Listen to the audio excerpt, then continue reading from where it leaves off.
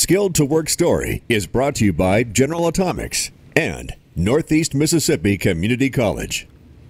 Are you tired of the work you're doing right now? Are you ready for a career change? Or maybe you just want to learn a new skill. In today's Skill to Work, I took a trip to one area college to find out how they're helping both traditional credit students and non-students learn new skills that they can use in the workforce.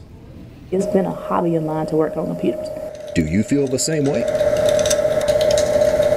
Priscilla Trice works at Itawamba Community College as an ICC assessment coordinator, but she's also enrolled in a workforce learning program designed to teach her skills she can use in a future career. This class is the Google IT Support Certificate. Our teacher is awesome.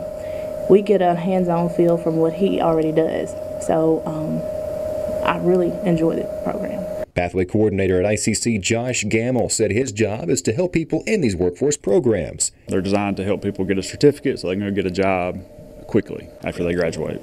And you don't have to be a traditional credit student. These courses are for people who want to learn.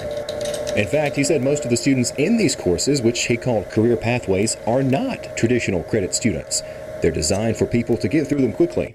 You can get people that are looking for a career change, looking for a new start, uh, whatever the case may be. He said they have 18 different programs like this. We learn how to do remote access where we can actually work on people's computers where you don't actually physically be with them, but you can still fix it. So I hope to take that with me, do some things on the side. We do want you to go find employment, but it also could be a pathway, hence career pathways, into some of our two-year credit programs at ICC. In Tupelo, Bronson Woodruff, WTVA 9 News.